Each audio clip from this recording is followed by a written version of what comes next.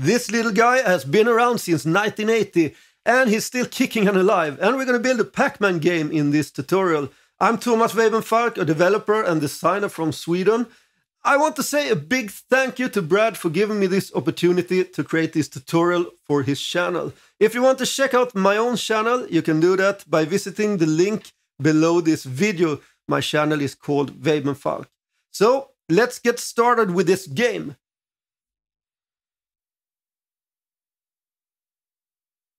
Alright, let's check out the game that we build in this tutorial. So let's start it up.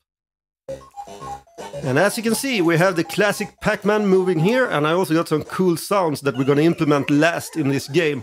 So this is the game. I made some small tweaks to it from the original. For example, here, I blocked this corridor off so you can't move here and come out on the other side. And also this game is actually quite complex in some aspects.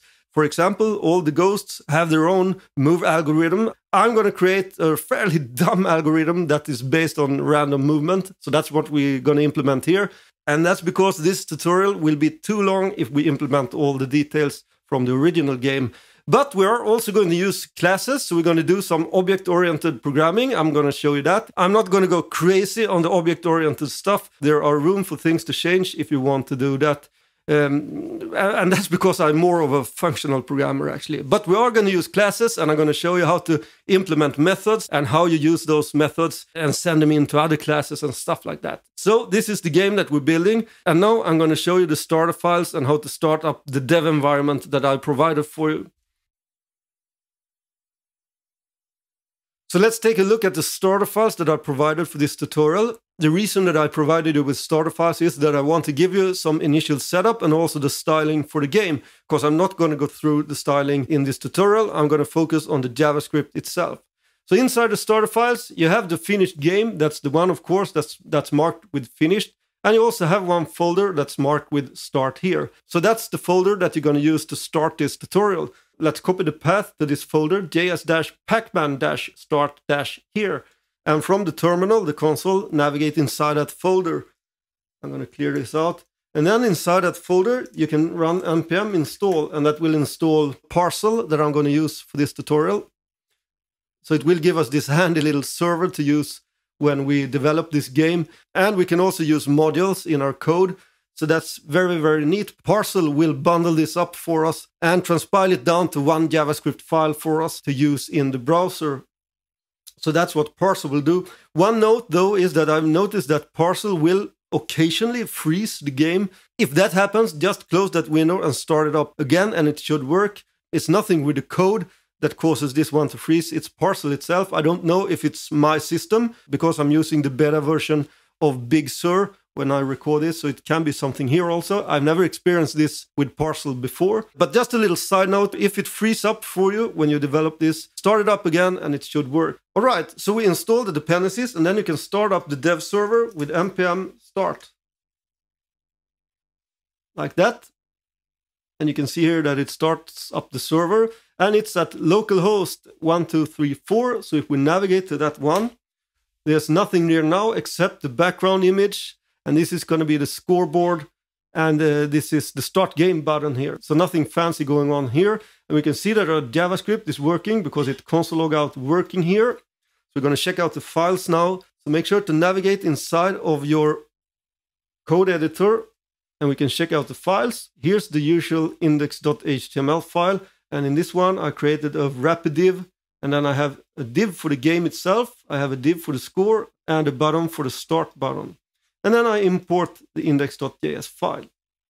So that's everything I'm doing here in the index.html file, and we don't have to touch this file in this tutorial. Then I have this setup.js file, and in this file I created some values that we're going to use for the game. So for example, the grid size and the cell size. The grid size telling us the amount of columns that we're going to use in the grid, and the cell size is the size of the cells in the grid in pixels.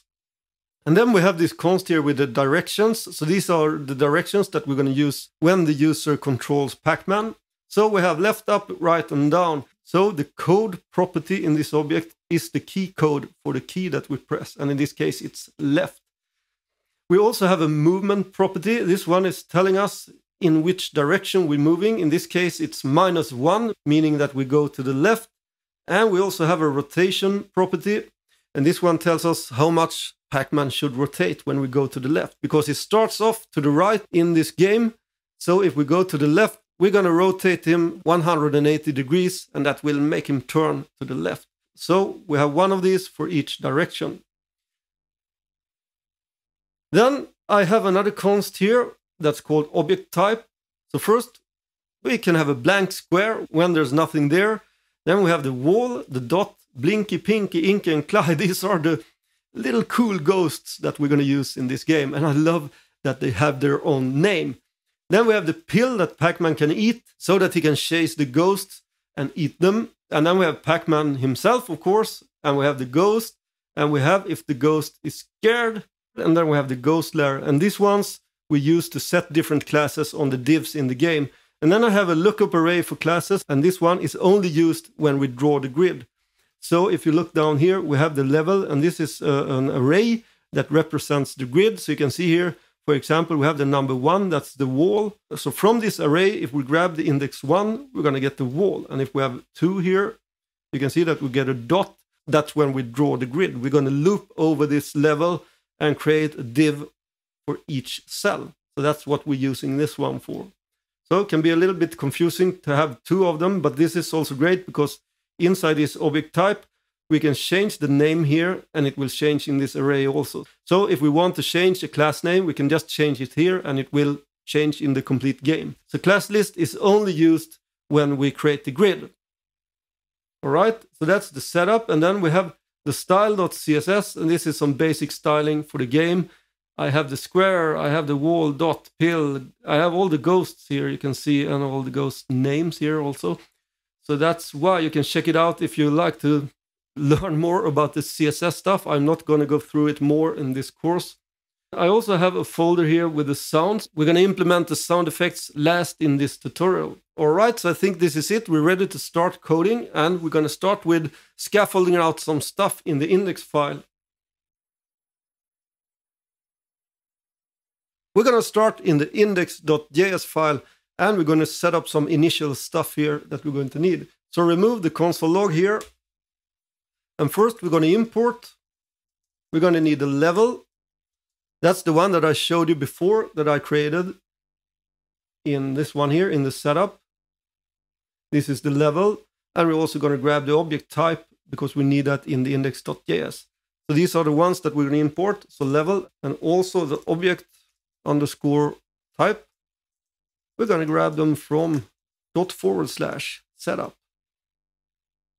Like that. And then down below here, we can mark it with DOM elements.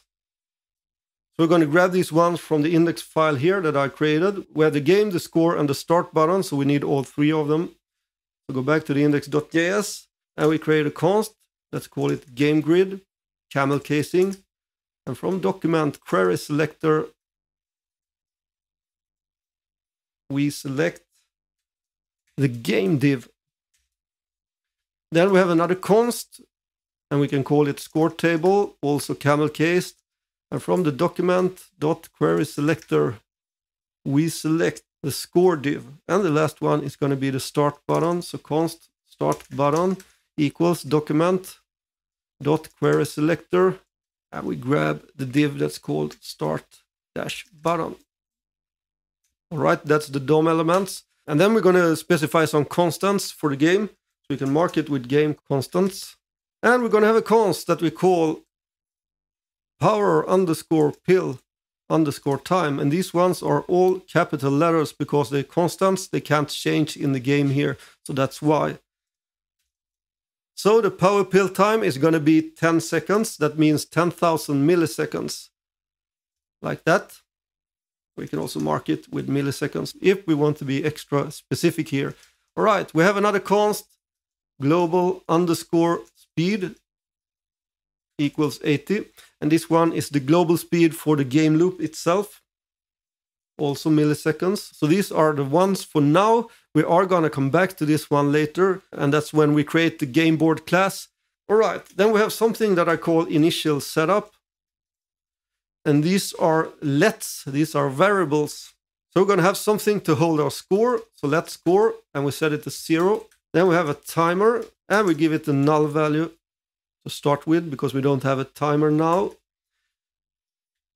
And we have something that's called game win. And this one is going to tell us if we won the game or not. So it's going to be false to start with. And then we have another let that we call power pill active. And we set it to false. And this one is going to be used when the Pac-Man eats, eats a power pill. So we have another one to go with this one also. Let power pill timer because we're going to have a timer when Pac-Man eats that pill. And we set it to null initially. Then I'm just going to scaffold out the functions that we need for this game. So first we can create the game over function. Game over.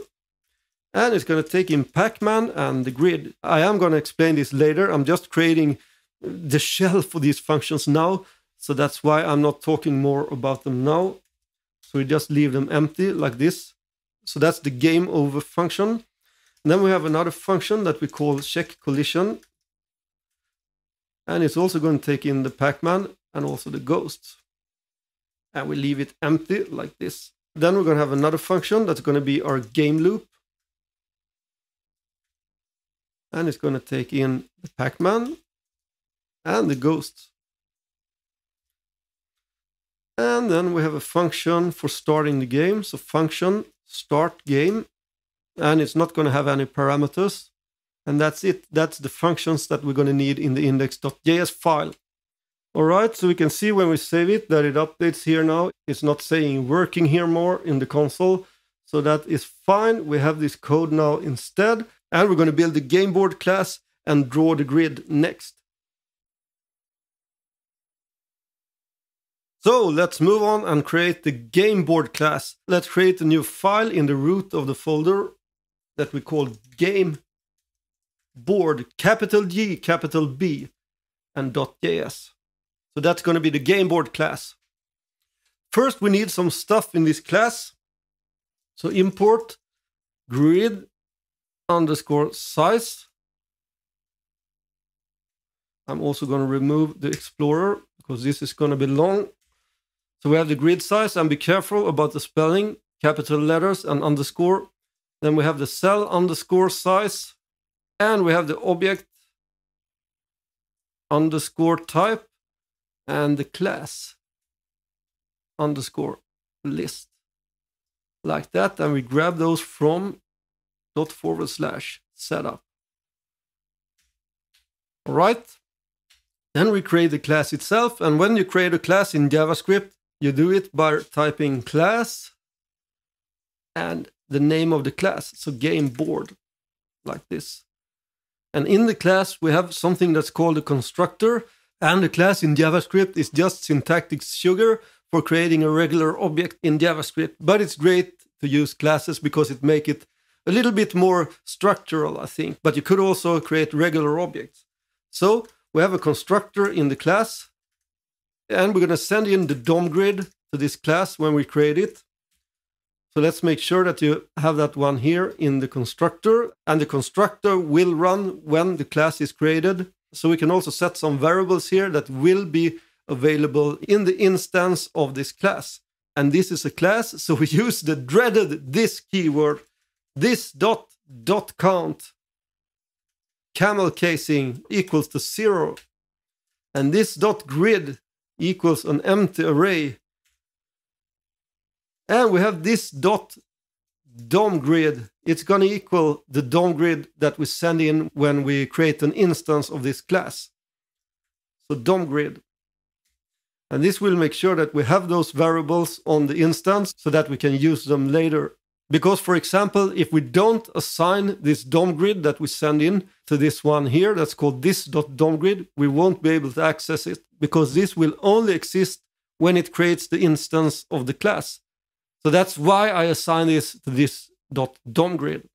All right, so we have created a class and we're going to need some methods on this class. And a method in a class is just a function. It's called a method when it's in a class. So we have something that's called show game status. and it's going to take in the game win. That's the variable that we created in the index.js file to tell us if we won the game or not. And this method is used for displaying if the game is over or if we have won the game. So we're going to create a div that we're going to attach to the game board. So const div equals document dot create element and we create a new div. All right. Then we assign a class to this div. So div class list dot add and I have a class that I call game dash status like that. So I've already styled this class in the styles that I provided for this project. Then div inner HTML, we're going to set the inner HTML on this div and I use backticks here because I'm going to grab a variable and you do that by creating a dollar sign and curly brackets and then you can use JavaScript expressions to create a string. So we can use this and create the ternary operator if the game win is true. That's the one that's going to go to the right of the question mark. We're going to display win. Otherwise, we display game over. And then we're going to attach this to the DOM. So this dot DOM grid, this is the one that we send in here. That's the grid. So we attach this one to the DOM grid. Append child div. And of course, nothing happens now because we're creating the class. We're not using the class now, and we don't have a game to win or lose. So this one is going to be used later, but we're creating it now because we're creating this class now. All right. Then we're going to create a method for creating the grid itself. So this one is the method that's going to create the grid for the game. We call it create grid and we give it the level. And the level is the one in the setup.js. It's the one here where we can define the level. So go back to the game board the first thing we're going to do when we create the grid is to set this dot, dot count equals zero because we are going to call this method every time we create a new game, every time the player press start game, we are going to wipe out the current dot count and set it to zero. So that's why. And then we also set the grid to an empty array again because the grid is going to be the array with all the positions and the DOM grid is going to be the actual divs in the DOM. So we also have to reset the DOM grid. So this dot DOM grid, and we can set the inner HTML to be nothing, and that will wipe all the divs out. And then we're going to create a style here in the JavaScript because we are going to create this grid based on what we have in this setup here because we set the grid size here. So we're going to grab this value and set the style based on this one so we get the correct amount of columns for the grid. So go back to the gameboard.js and I'm going to remove the explorer. So this dot DOM grid dot style dot css text equals and I have backticks again. So we set the grid dash template dash columns colon. I'm going to set it to repeat. I'm going to grab the grid size. So dollar sign, curly brackets. I grab the grid size. And then I have another dollar sign and curly brackets. And I grab the cell size. And then it's also important to end it with px. Otherwise it won't work because this is CSS that we set here. And you need to specify that it's pixels that we want. So this will make the grid dynamic based on the value that we provide in our setup file. All right. Then we're going to draw the actual grid. So we have our level that we send in. That's the array with all those values that we have in the setup.js file. You can see here, this is an array. So we're going to loop through each and every one of these values. So go back to the game board. We have the level and we loop through it with a for each loop. We're going to get the square and the index. And we have an inline arrow function like that. So we run this on each element in the array. So we create a new div, document dot create element, and we create a div like that. And on that div, we're going to set some classes. So div.classlist.add. We're going to set it to be a square like that. And from the class list that we have in our setup,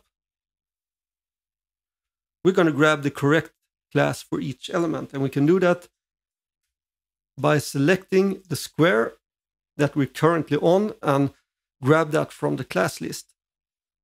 So for example, let's say that this one has the value 1. So from the class list, we grab the index 1. So if we check out the setup.js again, you can see the class list here. If it's 1, we know that it's a wall. So this is how it works. Go back to the game board. Then we're going to set some styling on the div. So div.style.css text equals backticks. We set the width, dollar sign, curly brackets, and we grab the cell size again. And also important, and it with px. Then we set the height, colon, dollar sign, curly brackets.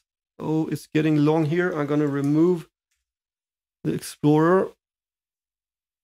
And I grab the cell size again and end it with px like that. I guess you can also end it with a semicolon there.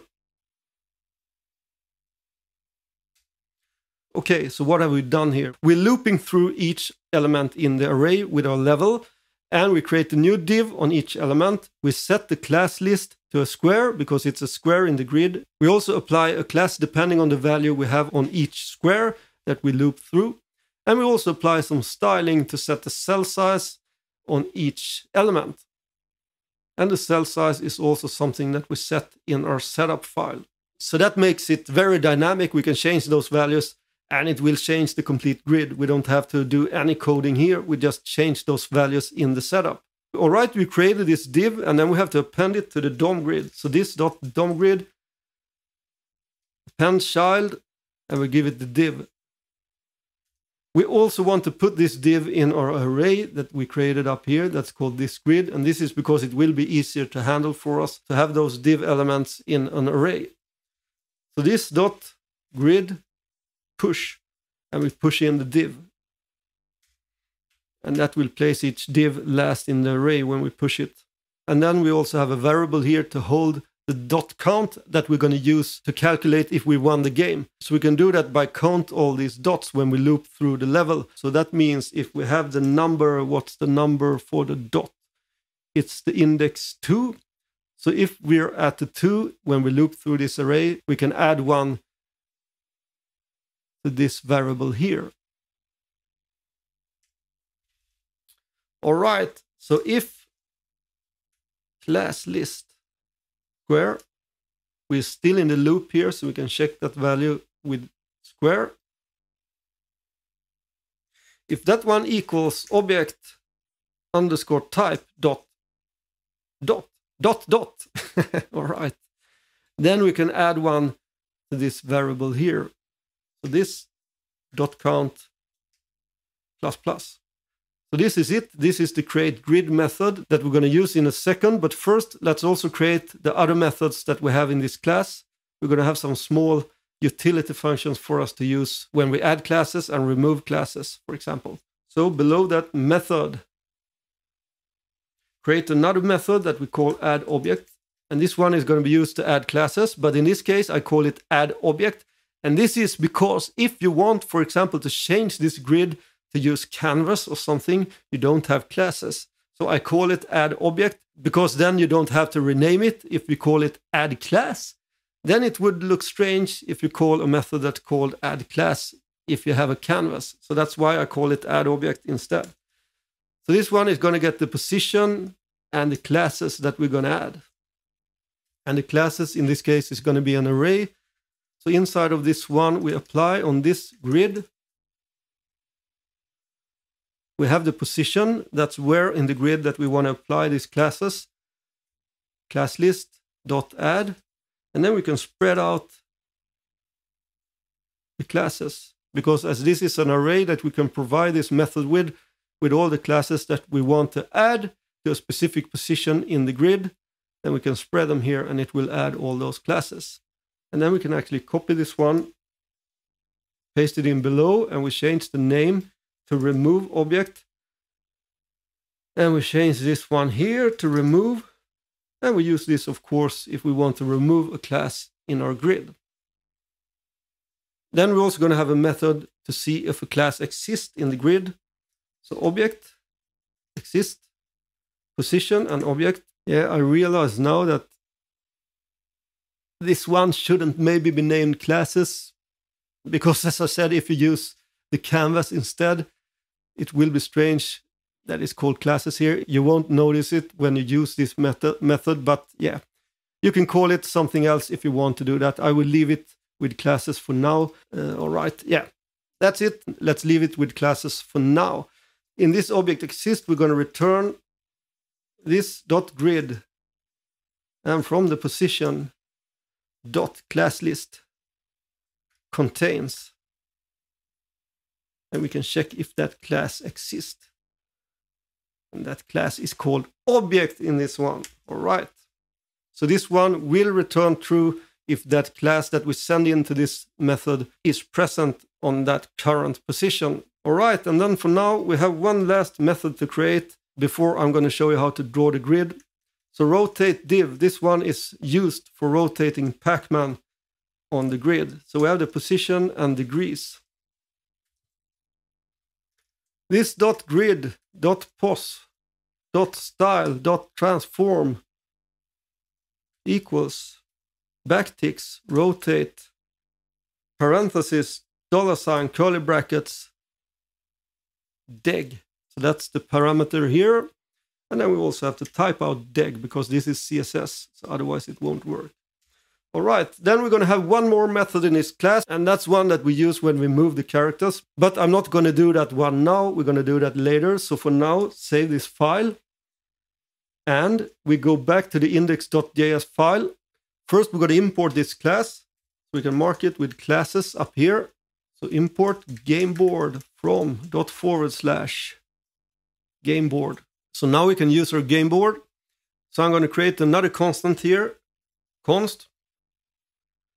And I'm going to call it game board. And in this case, it's going to be camel case because this is actually not a constant as these ones are, because it's a class that can change stuff and we can call stuff in it. So yeah, it's not really a constant because it can change. So that's why I'm using camel casing here instead.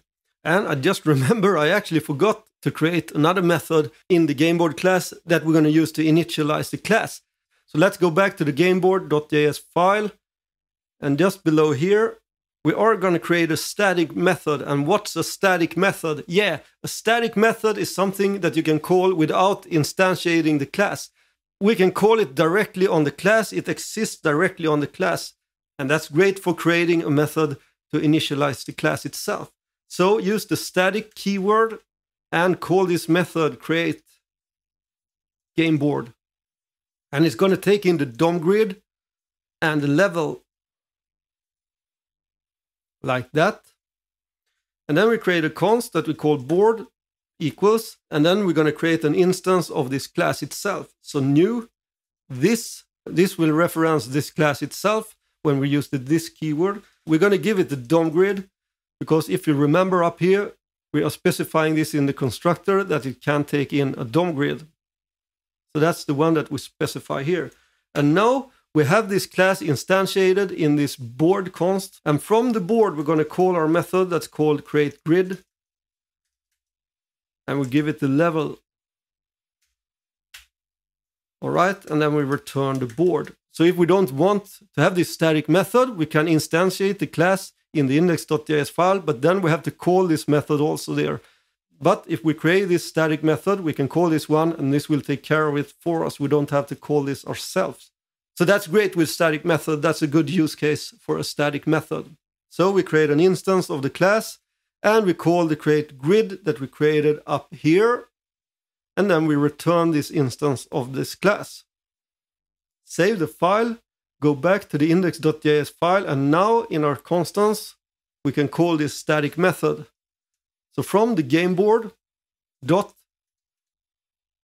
create game board, we give it the game grid and the level like that. Save it.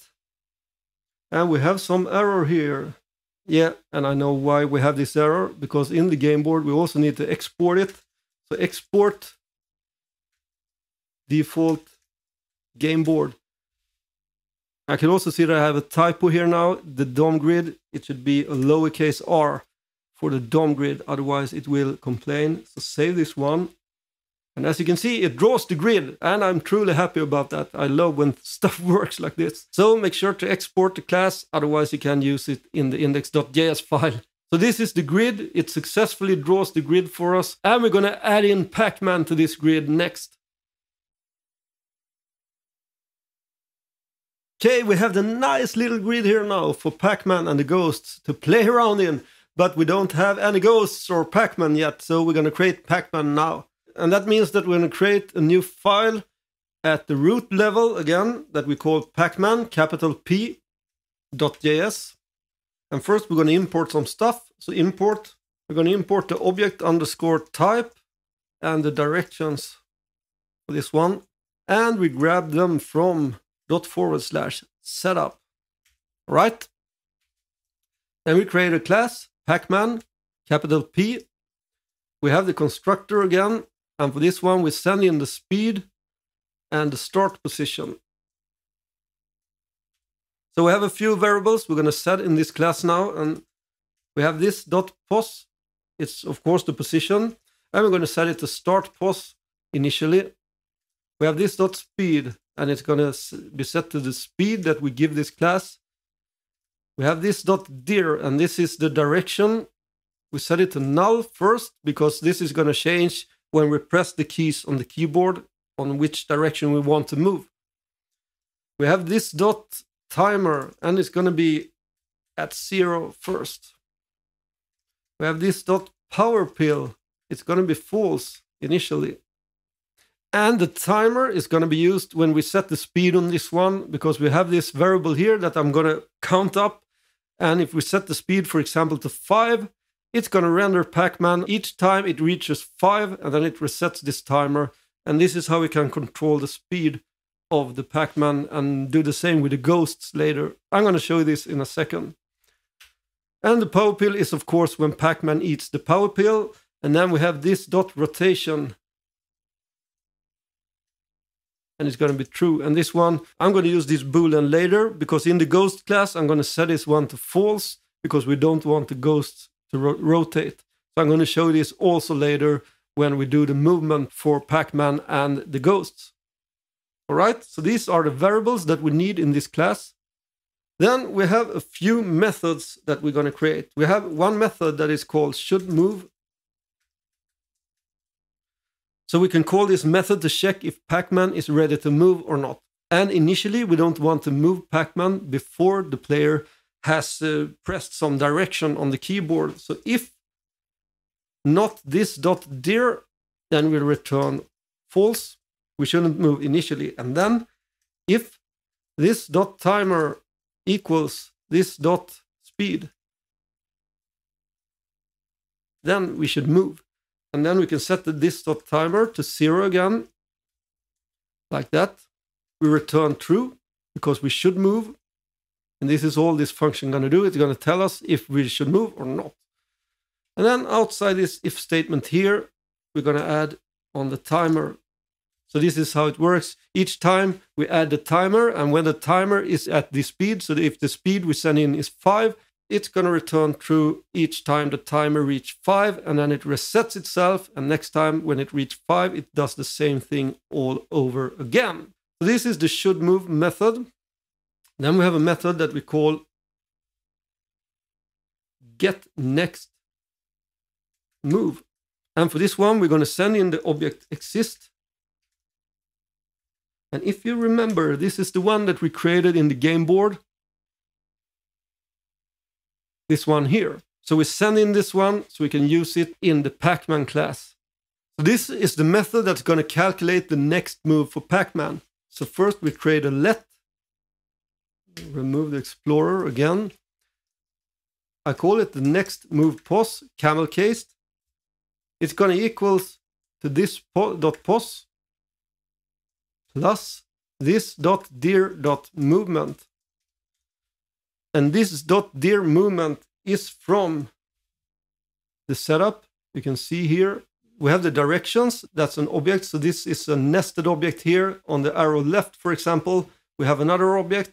So we have the code movement and rotation. So we grab the movement here in this one, Pacman. So this dot dir is going to hold one of these.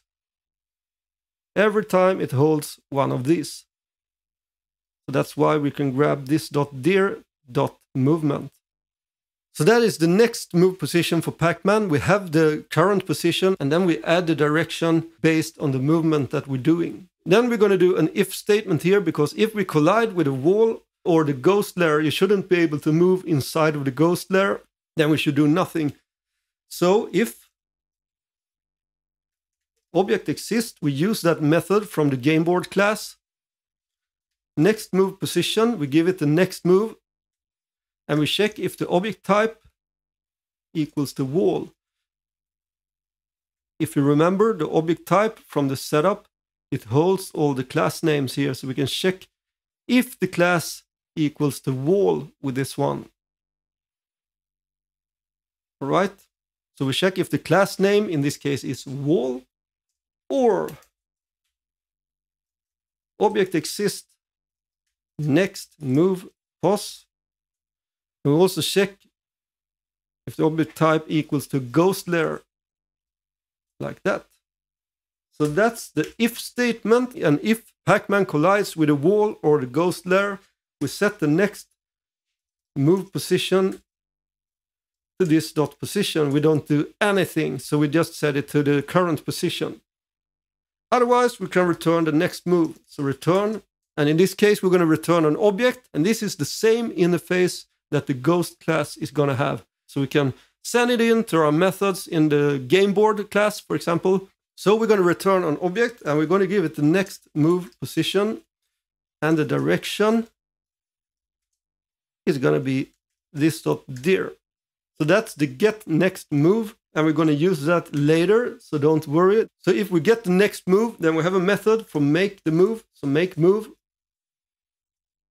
This is divs in the DOM, so we can remove and add classes when we make a move. So const classes to remove equals we're going to have an array we can specify an array with all the classes that we want to remove and from the object type we're going to grab the class name for pacman like that that's the only one that we want to remove here because we're only moving pacman and const classes to add equals, we have another array, and from the object type, we grab the class name Pacman again. And that means on the current position, we remove the Pacman class and we add it to the new position. And we return an object, classes to remove, and also classes to add. And as this is ES6 syntax we're using, we don't have to specify a colon and type out classes to remove we can just type out classes to remove as the name is the same as the const here. So that's what I did up here also. But here I changed the name. This .dir is going to be called direction in this object. So we have this property direction, but I get the value from this .dir. So that's why I have to explicitly specify it here. Okay. So that's the make move method. And then we're going to have a method that's called set new pos we have make the move, so then we can set the new position, and it's going to take in the next move position. So the set new pos, we have this dot pos, it's going to be the next move position. This is the only one for this one. All right. And then we have something more we're going to do in this Pacman class, and that is a method for the key input. So that's the last method that we're going to need in this class. And we're going to call it handle key input. And this one is going to take in the event. We're going to set up this event listener from the index.js file. And it's also going to get the object exist method from the gameboard class. All right. So I'm going to create a variable here, a let that is called dir. Then I'm going to check which key is pressed. So if e.keycode we can get the key code from that pressed button. If it's greater than or equals to 37 and the e.key code is less than or equals 40, this means that if it's the key up, down, left, and right on the keyboard, we do something because this is the key codes. We can check it out here. I've set this up for us in these directions. We have the code here 37, 38, 39, and 40. These are the key codes for the movement buttons. So we don't want to do anything if it's not those key codes. So I'm going to do the else statement first. So else, we just return, we do nothing. But inside of this, if we press the up, down, left, or right on the keyboard, we're going to change the direction. So we set the dir, that's the one that I created up here. And from the directions,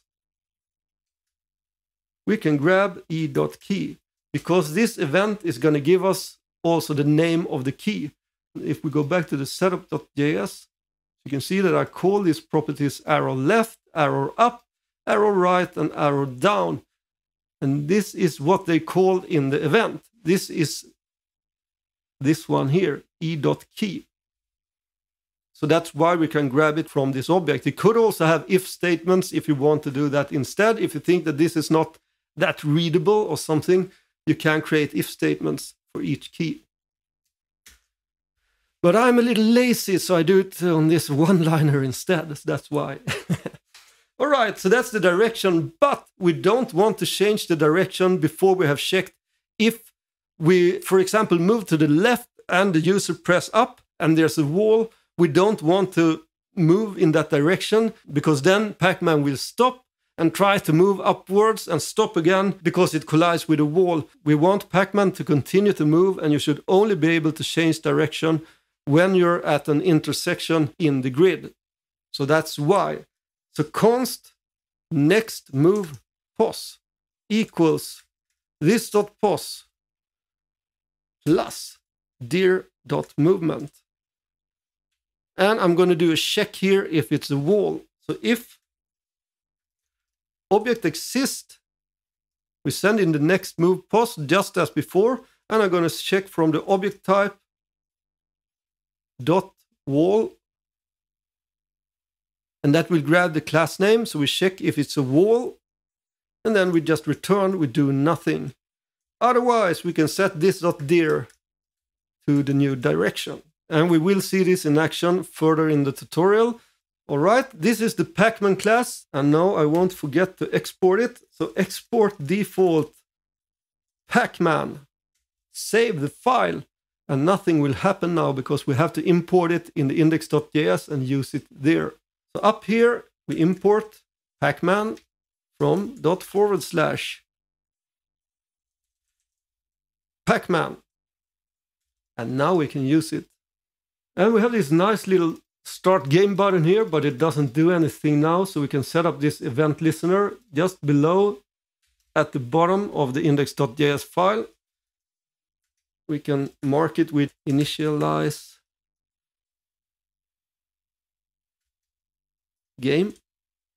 And then we're already grabbing the start button up here, so we can reference that one.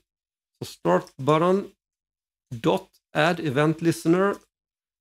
We're going to listen for the click and we're going to call the start game function like that. So for example, if we console log yeah, like that.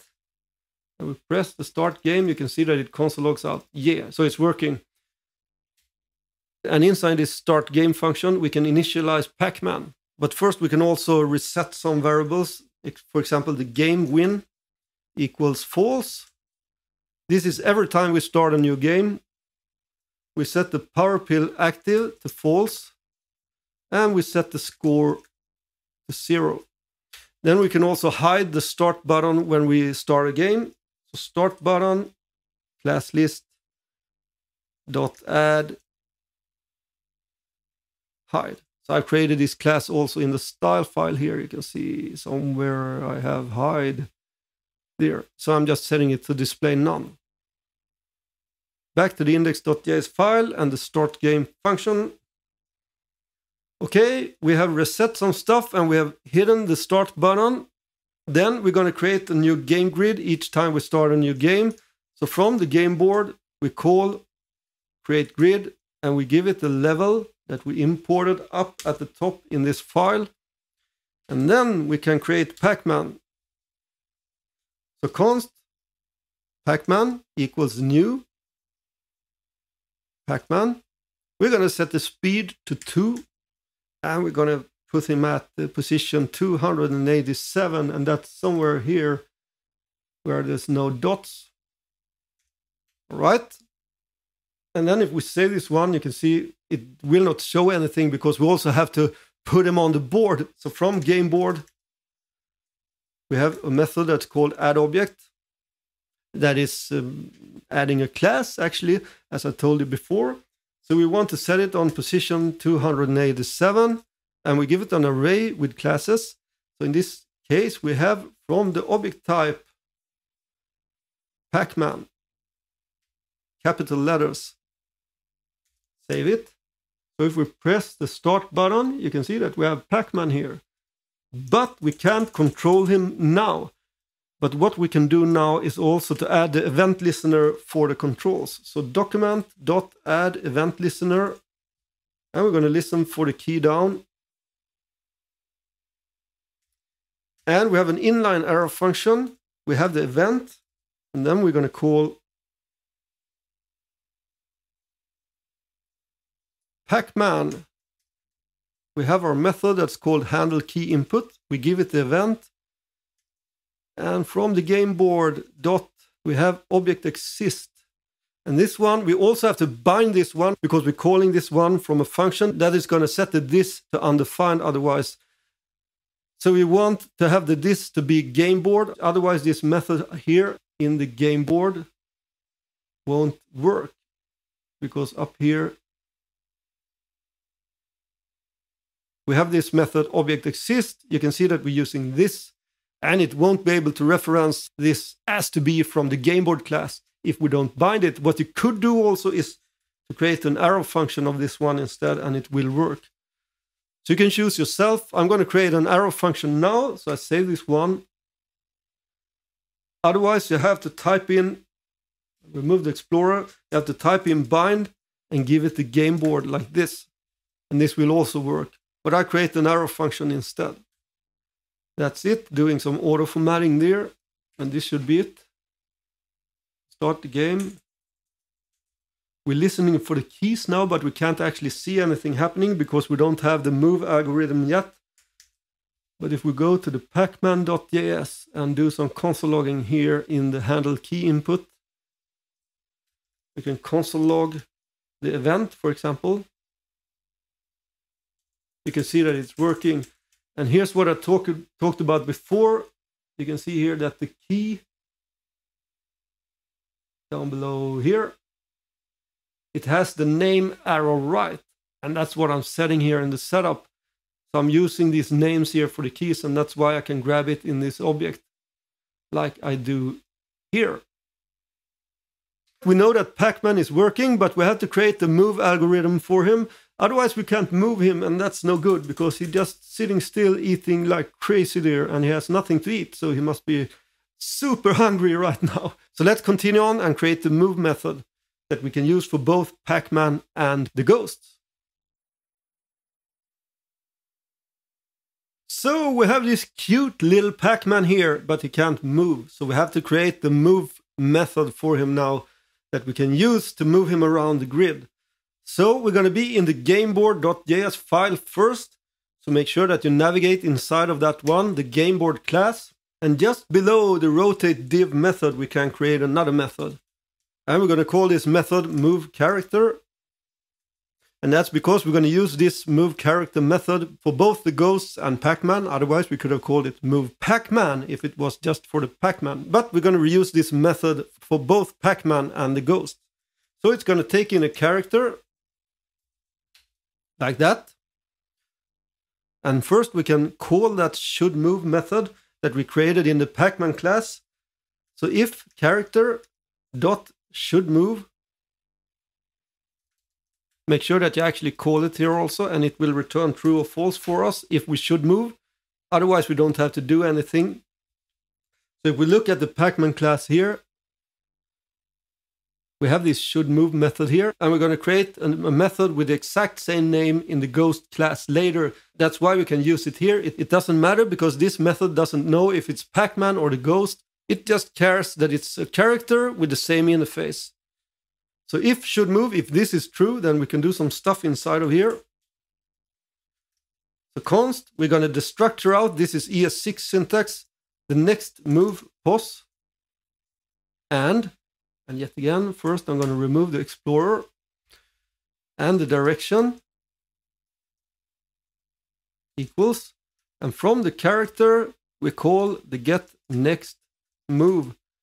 And we're going to give it from this dot object exist dot bind this. So we give it the object exist method and I bind it here. But as before, you can see I did this instead. I created an arrow, arrow function. So we don't have to bind it actually. I can remove this one. So we give it that method. And if we go back and check the Pacman class, get next move. This is the one that we're calling, and you can see that it takes in the object exists here, and we're using it here. So from the game board class, we send in the object exist method from the game board class, so we can use it here. And as you can see here, I return the next move position and the direction. And if we look in the game board, these are the ones that I the structure out here. So this will give us the next move position and the direction, all right? remove the explorer again. We're also going to call the make move. So we have the position and the direction, and then we can make the move. Const, yet again, I destructure out classes to remove and classes to add. Equals, and I'm going to call from the character the make move method. And just to be super specific here, I'm going to go back to the Pacman and show you that we have the make move method here. So this is the object that I return, and these are the ones that I destructure out. All right. So back to the game board. We now also have the classes to remove and the classes to add. And we can use these ones now because we have successfully, hopefully, grabbed those values. So if if character dot rotation, and this is what I showed you before also. I have this variable in the class. So for Pacman, this is set to true, meaning that we will rotate Pacman when we change direction. In the Ghost class, it's going to be set to false, so it will so it will skip this one. So if rotation and the next move position isn't equal to the character position, otherwise he will rotate also when we as I told you before, when we're moving, for example, to the left and the user want to go up, but you can't go up, then it will rotate if we don't do this check also, and that's no good. So first we rotate. So this rotate div, we have this method up here to rotate the div. So we call that one and give it the next move position. And from the character direction and the rotation, so this is of course from the direction object as I showed you before. We also have the rotation property there. And yet again, to be extra specific, I can show you that here. So we have the rotation here. That's the one that I'm grabbing. Because the dir variable in the class is always going to hold one of these objects here. That's why I can grab that value like I do here. All right. So we rotate the div. We also have to rotate back the previous div. Otherwise, the ghost will be rotated when they move to that div. So this rotate div, we have the current position character pos, and we rotate it to zero. All right? So this is the rotation. It's only usable for Pacman because this one will be skipped on the ghosts. Okay? And then we can actually move the character on the grid. So we do this by remove and adding classes. So this dot remove object we have the character position and classes to remove. So we remove those classes from the current position and then we call this add object. And we have the next move position and we give it the classes to add. And this will make sure that we apply the classes in the grid also to the moves so we can visually see the changes on the game board. Then the last thing we have to do is to set the new position and we have a method that's called set new pos on the character on Pacman character dot set new pos and we give it the next move position and the direction like that. Do some auto formatting, but it wasn't needed. Okay, save it. Just see so everything works. We can't move it still. We can remove that console log also from the handle key input. We doesn't we don't need that anymore. Save it. It's gone. Okay, great. Next, we're going to be in the index.js file and first in the start game function, we're going to start an interval that will run our game loop function. So we set the timer and we call set interval. We give it an inline arrow function. We call the game loop that we give Pacman. For now, we're also going to give it the ghosts later on. And we also give it the global speed like that. And we have our empty game loop up here. And for now, we can just console log to see that it works. Works. Save it, start game. And you can see that it console logs out here. So that's great. All right, we know that it's working. So in the game loop, we have to move Pacman. So we can call that move character method that we created on game board. So game board dot move character and we give it Pacman like that. Save it and see what happens. And there he is. Do I dare to try the arrow keys on the keyboard? Yeah, it's working. Uh, you can see he does. Yeah, he don't. He doesn't ro rotate. That's strange. He should rotate. So I have to check this. Why he don't rotate? But he is moving just as he should. So that's great. But there's something fishy with the ro rotation.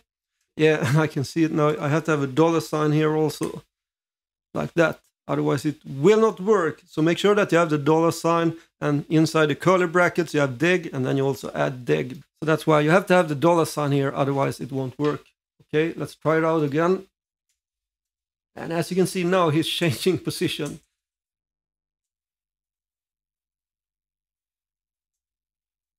But that's no good. He's stopping there. Why is he doing that? On the lair? On the ghost lair?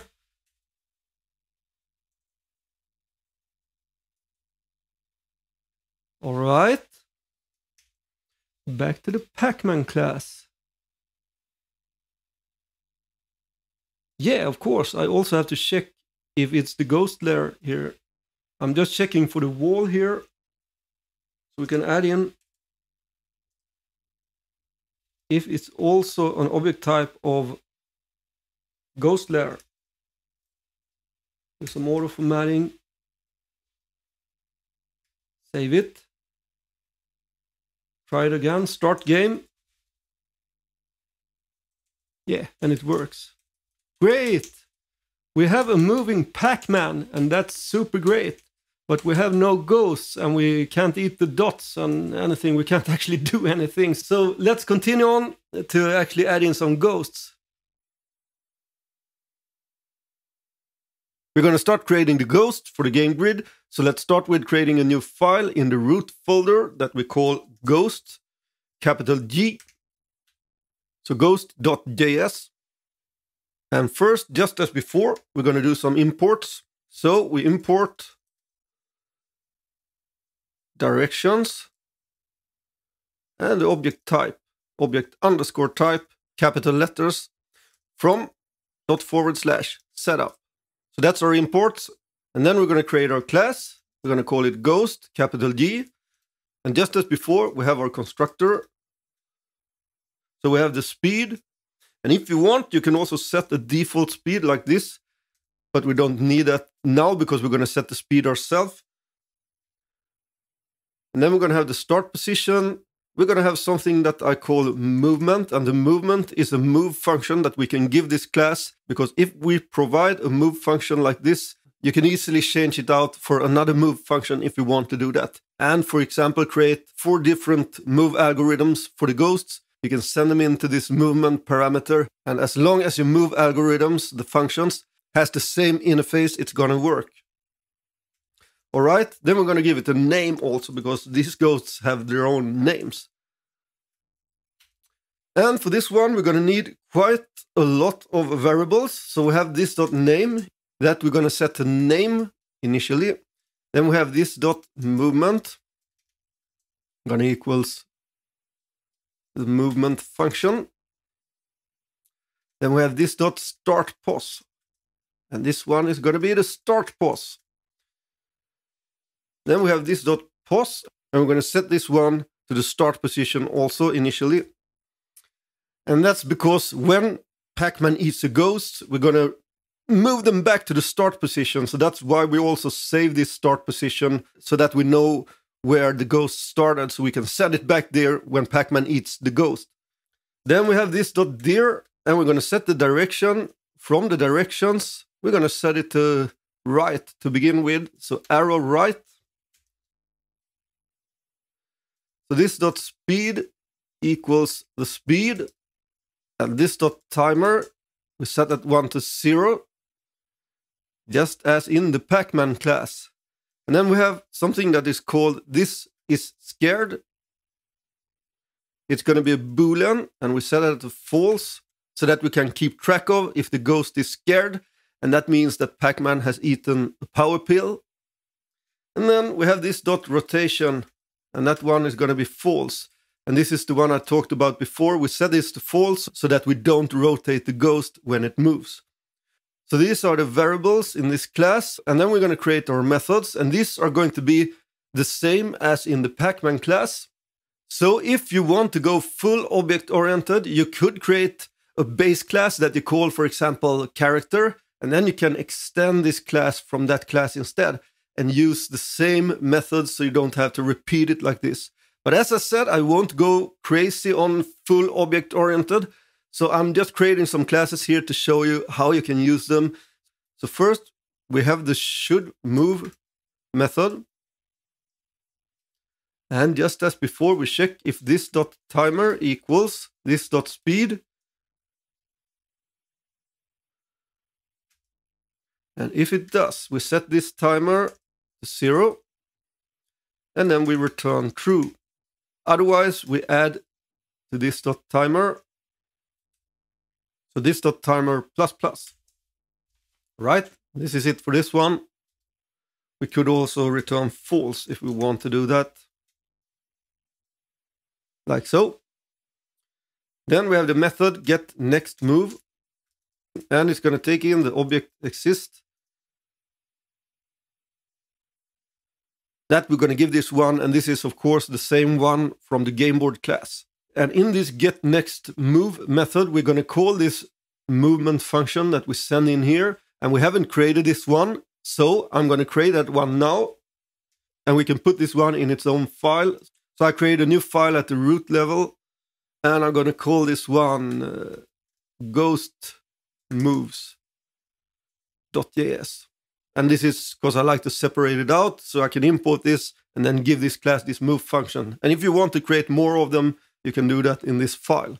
So we're going to do some imports here also. Import the directions and the object type. Object underscore type, capital letters. I'm going to remove this Explorer sidebar again. I keep forgetting that one.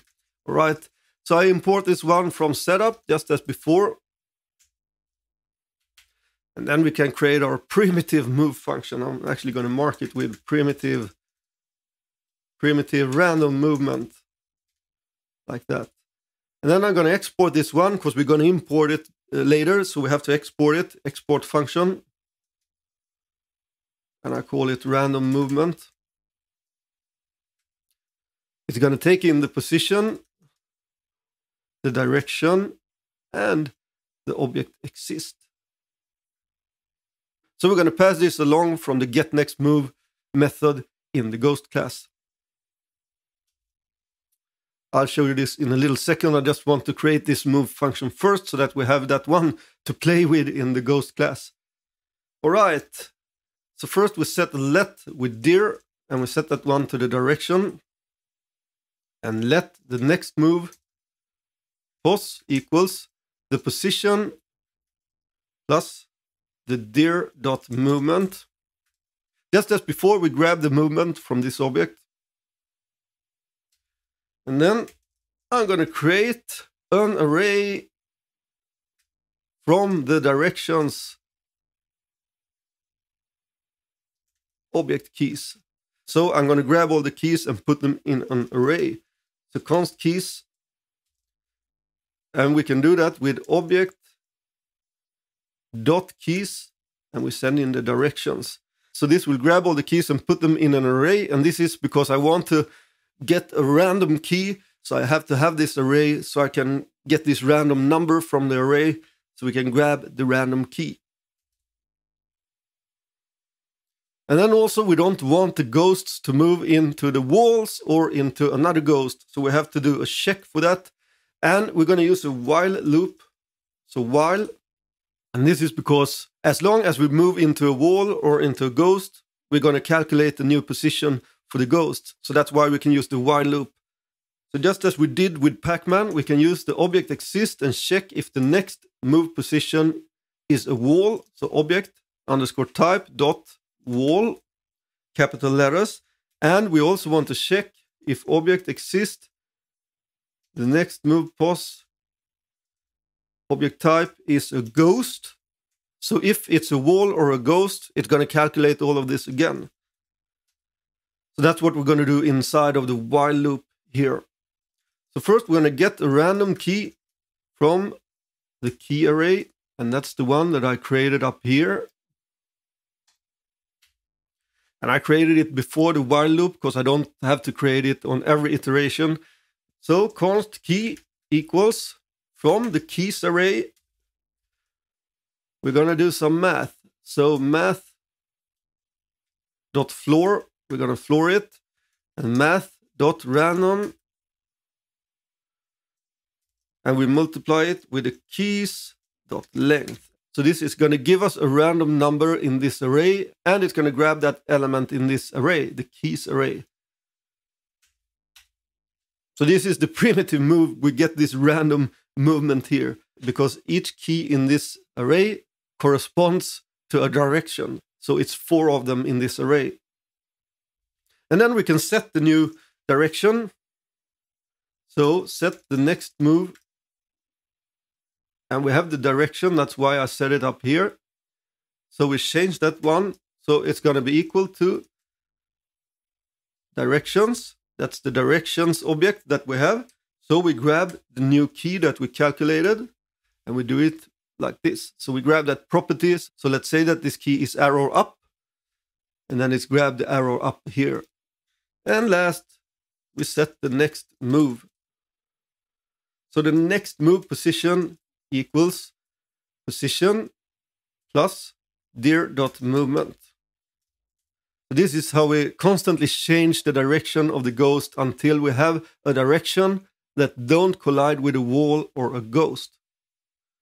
And then we have to return something from this one. So we return an object. We have the next move pos and we also return the direction just as before, and we set it to dir. And hopefully this is going to work. So this is all there is to it, to the movement to the ghosts. It's going to calculate the random position until we don't collide with a wall or a ghost. Right. And now we can go back to the ghost class and use this one. So this random movement is the one that we're going to send in when we create the new instance of the ghost. And that one is going to be placed in the movement. So that is also why I now can use this one in the get next move method. I'm going to structure out the next move pos, and I'm also going to structure out the direction. Equals, and I'm going to call this dot movement.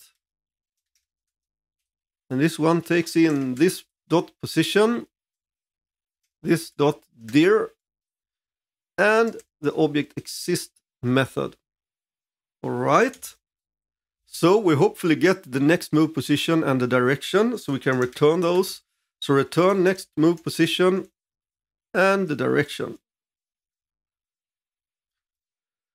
So as long as we have the same interface, it doesn't matter what move function we have, as long as that move function return the next move position and the direction, it will work then. So that's the get next move method. Then we're also going to make the move. So we have the make move method. Const classes to remove equals. And we have an array just as before. We specify the classes that we want to remove. From the object type, we want to remove the ghost. We also want to remove scared because if we have set the class that this ghost is scared, we have to remove that one. And we also want to remove the class this dot name because we're setting the name as a class on the div also. All right, I'm going to end it with a semicolon. And then the next one is actually going to be a let, and I'm going to explain that in a second. So we have let classes to add. It's going to equal an array and from the object type we're going to add ghost and this dot name. And why is this a let? And that's because we also have to check if this ghost is scared. And if it's scared, we're going to add that class also. So if this dot is scared, then we have the classes to add. That's the let up here. So classes to add equals and we create a new array. We're going to spread the classes to add. This is ES6 syntax again. And then we're going to add from the object type scared, like that. And end it with a semicolon. If you wonder why I don't have more space here, that's because I want to have this insanely big font so that you guys could see what I type in. But it's a little inconvenient when the rows get this long because I have to scroll to show you this here. And it's a little bit unpractical to code like this actually, but it's important that you see what I type. So that's why. and I also want to have the game board visible here all the time now for this tutorial. We have to return something. So we return, just as in the Pacman class, we return classes to remove, and we also return classes to add in an object like this. Then we just have one more method to create in this class, and that's the set new pos. It's going to take in the next move pos and the direction like that. So this dot pos is going to equal the next move position and this dot dir is going to equal the direction. So as you can see here, if you remember from when we created the Pacman class, we have the exact same methods, and that means that they have the same interface. And as I said before, if you want to go crazy on object-oriented stuff, you can create the base class that's called, for example, character, that has the methods that are going to be the same. They don't look exactly the same now in here, but you can do it probably with a base class and then you extend this class with the base class instead. So you don't have to repeat yourself that much. But I won't do it in this tutorial, all right? So this is the ghost class and we also have the movement for the ghost. So that's great. So let's move back to the index.js file.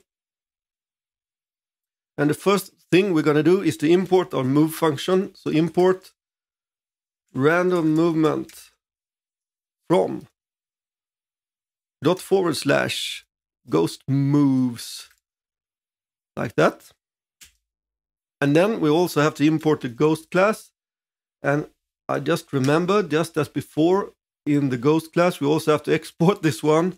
So export default ghost, save it, and move back to the index.js file. And now we can import it. So import ghost from dot forward slash ghost. All right. So we have to implement the ghosts also and use them in our game before they will show up here, of course. So down in the start game function that we have, we're going to create the ghosts. And just after where we create Pac-Man, we can do that. And as we have four of them, I'm going to create them in an array. It's going to be easier to handle. So const ghosts equals an array. At the first position, we have a new ghost. And I'm going to set the speed to 5 on this one and select the position 188. That's going to be here in the top. So I'm going to place them diagonally over here. You can place them however you want, but I think that's neat because they're going to move right as the first move, so they won't move into each other and collide them. And then I give them the random movement function and also going to give them the name. And we have the name in the object type dot blinky. So that's going to be the class name. All right. Then we can just copy this one and paste it in three times. And I'm going to give them uh, four, three, and two in speed so that they have some difference in their movement. And this one is going to go at the position 209, and this one 230, and this one is going to be 251, and that will place them diagonally in the ghost lair. And we also have to change these class names here. This one is going to be Pinky. And this cute little ghost is going to be Inky. And the last and the last one, and that's cool, I think, because he's called Clyde. These ones are quite similar, but this one is called Clyde. So yeah, that's Clyde. Okay, I have an error. Unexpected token, uh, all right, and that's because this is an array, so there should be commas at the end here instead. Save it. And as you can see, it won't work still because we're not placing the ghost on the grid. So we have to move them also because otherwise they won't show up. So we have the ghosts and our start game function is actually finished now. So we move up to the game loop. So just below where we move Pac-Man, we have our ghosts, and as this is an array and we want to move all four of them, we have to loop with a for each loop in this case. So we have a ghost and an inline arrow function, and from the game board, I'm going to call the move character and give it the ghost. And this is the exact same method as we use with Pac-Man. And this works, as I said, because we have the same interface. It's the same methods on Pac-Man and Ghost. So that's why we can send them along to this move character in the game board and it will work. Do some auto formatting and it added these parentheses here. Okay. Save it and see if this works. So let's start the game. It doesn't work. Yeah, and that's because I'm not sending in the ghosts to the game loop. So we have to change that one where we set the interval in the start game so give it the ghosts also and save it. And let's try it again. And it still won't work. Position is not defined and ghost moves. Okay. Let's check that out. Move to the ghost moves. And it's at row 19. Postion, I have a typo. It should be position. Save it and try it again. And I have another error, okay, in the ghost JS40 classes to remove and classes to add. Classes to add is not defined. Yeah, and I have another typo. I forgot the S.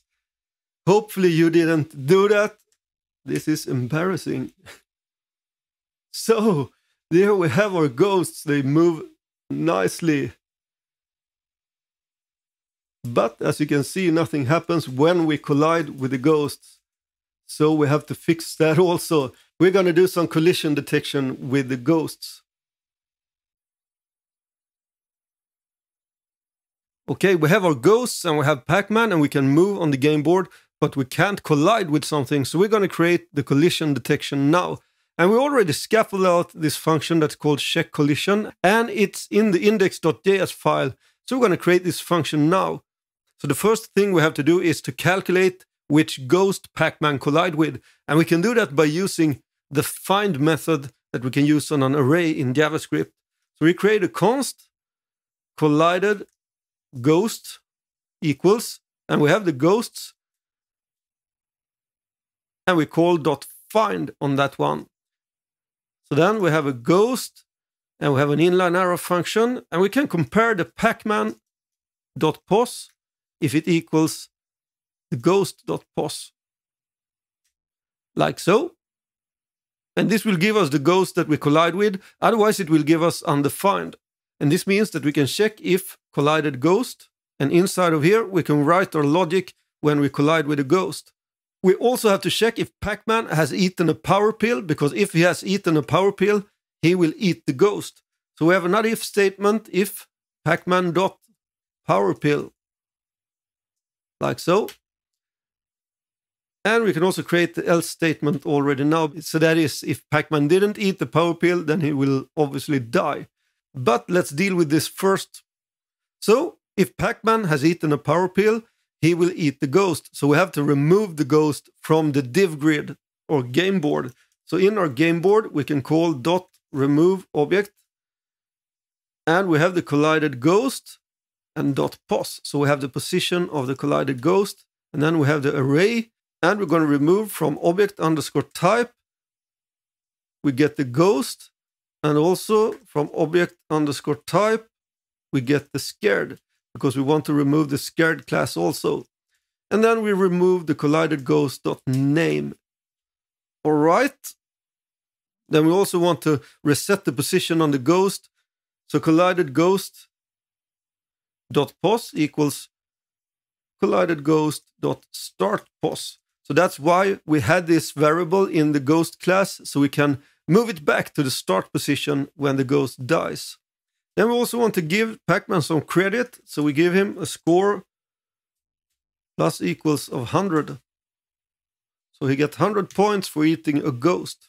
So that's when Pacman eats the ghost, and then we have the else statement here, and that is when Pacman dies. So we're going to remove Pacman from the game board. So game board dot remove object so we have the pacman.pos and we have the class from object type dot pacman. So we remove pacman.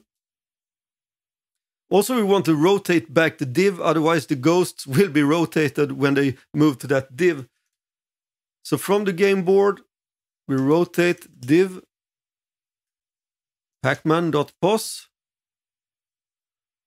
and we rotate it to zero. And then we call the game over function. We give it the Pac-Man and the game grid. Do some auto formatting, and this should be it. This is our check collision. Move down to the game loop. So here, where we move Pac-Man, we're going to do a collision check. So check collision. Just after when we have moved Pac-Man, we give it the Pac-Man and the ghosts. And we're also going to do another collision check when we have moved the ghosts. Check collision Pac-Man and Ghosts. And you could, of course, somehow integrate this in one collision detection, but I do it like this because this is a fairly small game, so it's quite simple to just call it two times instead, because the Ghost and Pac-Man don't move in sync. So that's why. So we check it when we have moved Pac-Man, and then we move the Ghost, and we do another collision check to be sure that we cover all the cases. So let's see if it works. We won't be able to see if the Power Pill version works yet, but we can see if we can collide with a ghost. Yeah, you can see that Pac-Man disappears, but we don't have our game over function, so that's why. So we have the game over function up here. We scaffold that one out earlier also. And we have to do some stuff here when it's game over. First of all, we're going to remove the event listener that we created for the keys. Document, remove event listener and we had the key down and the inline arrow function. I think something like this. Pacman dot handle key input, and we give it the event, and we have the game board dot object exist dot bind game board. It has to look exactly the same as we created it. And I think this is the one. Yeah, I didn't have the bind one there because I had an arrow function instead. So we don't have to do this one here. Then we also want to show the game status. So from the game board, we call the show game status method. And we give it the game win variable. And right now we're not setting that one anywhere. So we're going to do that later if we have won the game. Then we also want to clear the interval. That's the game loop, clear interval. And we have that one in the timer up here. So we clear that one out. So we stop the game loop. And then we also want to show the start button. So start button dot class list dot remove hide. Do some auto formatting. I guess I have some typo. Yeah. Unexpected token. And that's because I have to remove the semicolon and do some auto formatting, save it, see what happens. Yeah, come on. Yeah, you can see that it shows game over and it works. So we collide with the ghost and the Pac-Man disappears when we collide with the ghost. So that works. That's great. All right, we're going to finish our game loop function in this part. So let's start off by letting Pac-Man eat dots. So check if Pac-Man eats a dot. So we can use the object exist that we created in the game board to check when, a when Pac-Man moved to a cell if that cell contains the class name dot. So if game board dot object exist, we give it the Pac-Man dot position and we check from the object type if it's a dot. Like that. If it is a dot, we're going to do some stuff here.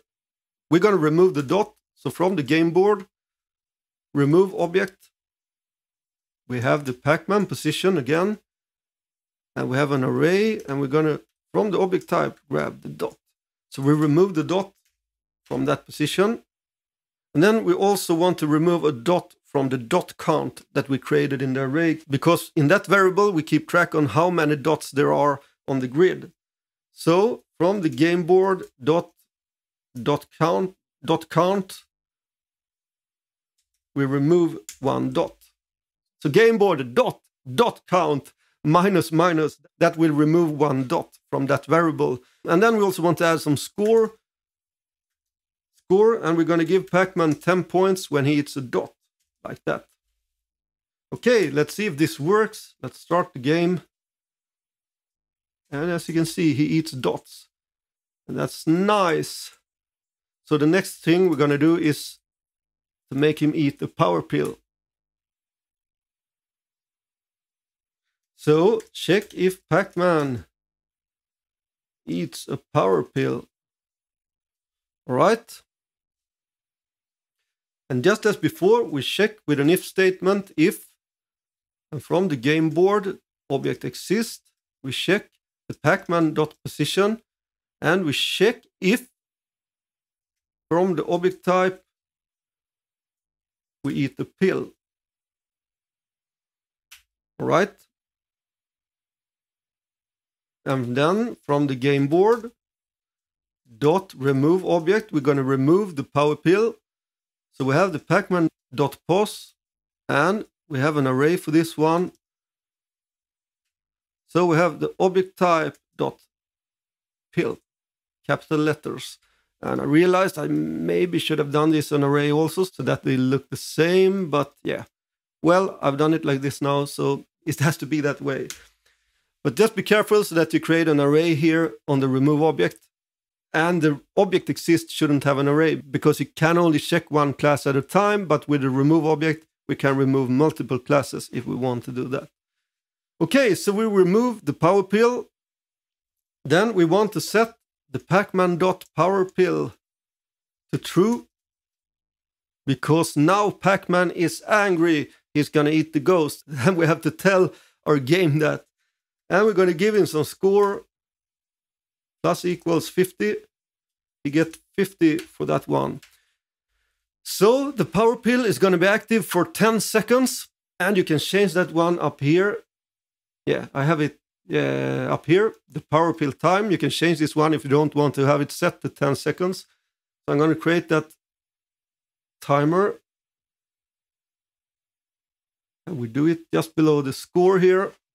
The first thing we have to do is to clear out the old timer. If you eat the power pill, meanwhile you still have the power from another pill. So we clear that out. Clear timeout and we have the power pill timer in the power pill timer variable. So we make sure to clear that one out. Then we set the new one, power pill timer, camel case, equals set timeout. And we have an inline arrow function. I'm going to set the pacman.powerpill to false. So we set it back to false after 10 seconds. So we have a comma and then we provide it with a power pill time. Do some auto formatting. What we've done here is we clear out the old timer and then we set a new timer. And the only thing we do with this timer after the 10 seconds is that we set the pacman.powerpill to false again. So we set that one back. Save it. So let's see if this works. Yeah, he eats a power pill and that's great. But you can see that the ghost should be blue because they're scared now. So we have to set that one also. So we can do that below this one here.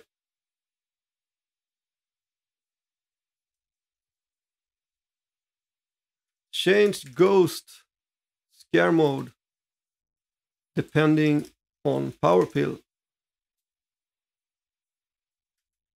So we just want to run this once. We don't want to run it on every iteration in the game loop. So if pacman dot powerpill if that one is not equal to that little flag that we have up here in the variables we have this power pill active it's set to false now so that means that we can check against that one so we check if the power pill is active so if pacman.powerpill doesn't equal to the power pill active then we can do something and this means that it will only run this once and don't run it every time on each game iteration in the loop. So we set the power pill active to the pacman power pill, pacman dot power pill, and this will make it, if this one is false, this one is going to be true, and if this is true, it's going to be false. So that's how it switches between them. All right? And then on each ghost, we want to set that they're scared. So we have the ghosts array for each and we have a ghost. And we're going to set the ghost dot is scared variable to equal the pacman dot power pill. Like that. Do some auto formatting and it adds this stuff here. Okay, that's okay. So this is how it works. We check if pacman.powerpill doesn't equal the powerpill active. So if this one is true, this one is going to be false. And then we set this one to true. So it's going to be true the next iteration. And then we also change Ghost is scared to the Pacman power pill. And the same goes if the Pacman power pill is false. So it checks against this flag here all the time. And this flag is only because I don't want to run this on each iteration. So save it. Let's see if it works. Ah. No, I have some error here. Classes to add is not defined at Ghost JS38. Let's check that one out. Ghost 38. If this is scared, classes to add. Yeah, I have a typo there again. I forgot the S. So it should be classes to add. And hopefully you noticed that when I created this one, so you don't do the same typo. Eh, and I actually, this is quite usual for me. I forgot the S a lot of times when I create tutorials, and that's very annoying. I try to think about it, but it happens all the time. So I save it. We're going to try this one out again. Start game.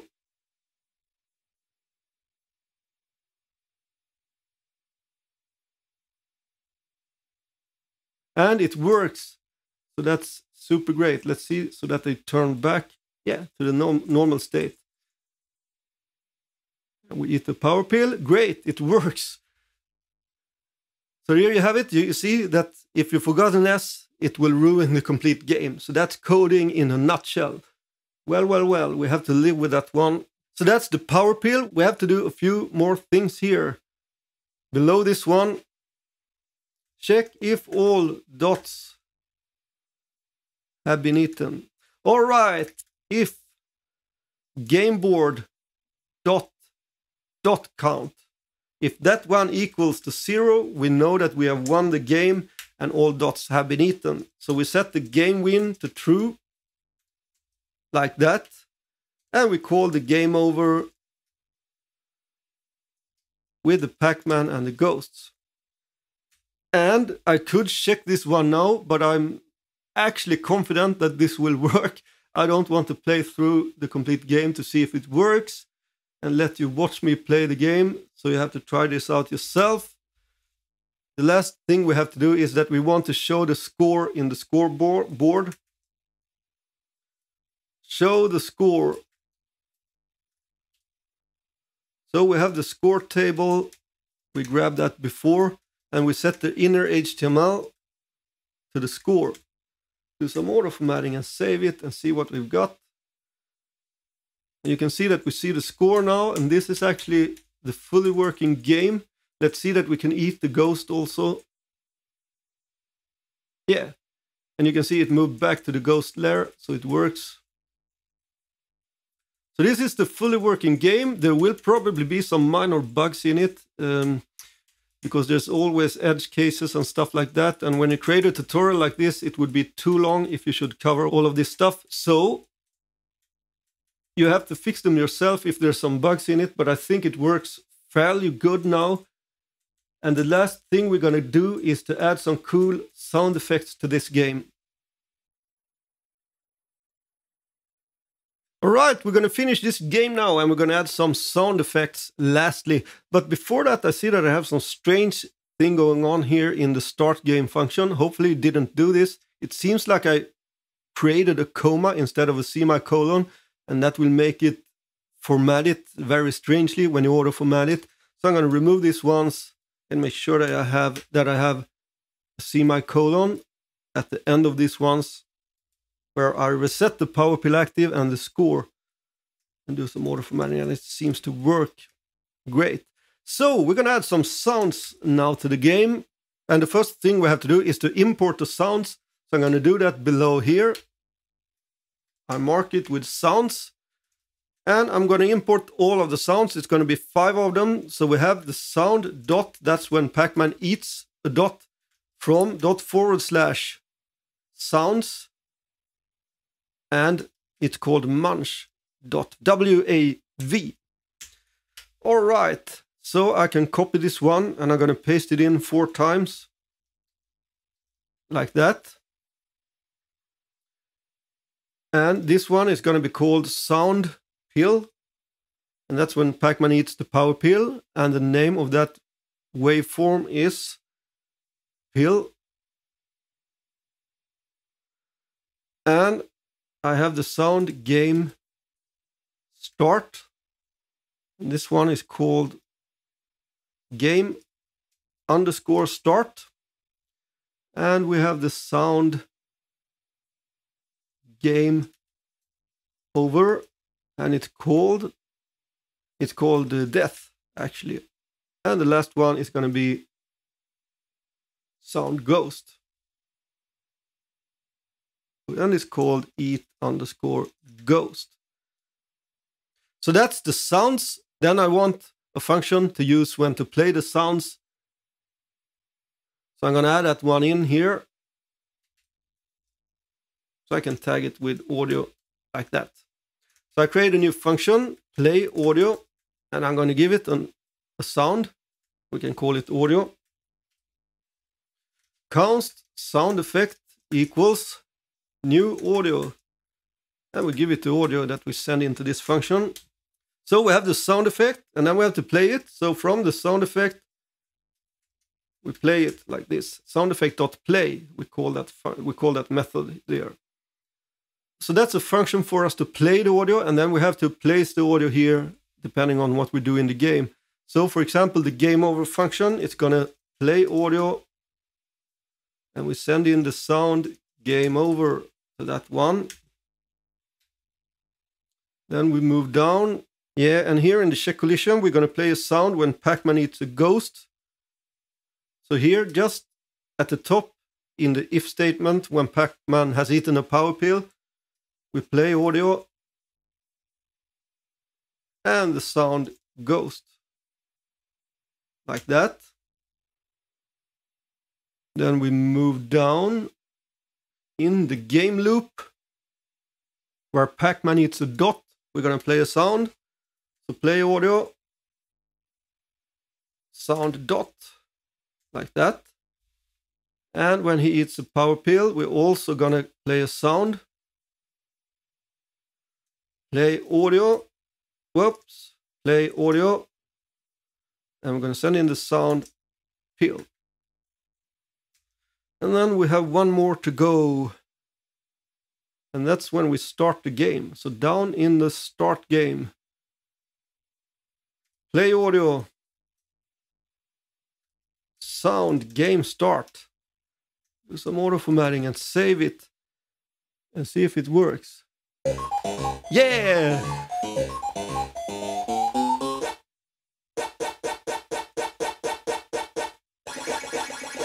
Yeah, you can see that it works, and that's great. I love those sound effects. Yeah, it's working. I think the sound does a lot to this game, actually. It's a lot more retro feeling when you have those sounds. All right. So this is one way you can create a Pac-Man game. There's a lot of them, of course. You can make it in probably a thousand ways or more. But this is one way you can create a Pac-Man game. And this has hopefully been as fun for you watching as it's been for me creating it. It was sure a pleasure creating this one. So I hope you enjoyed it and make sure to visit my channel, Weibenfalk at YouTube and subscribe to my channel. If you like my stuff, I put up a lot of stuff like this and other stuff, many React things and also Gatsby and I also have Svelte stuff now. So if you want to support me, go to my channel and subscribe. And hopefully see you in another one.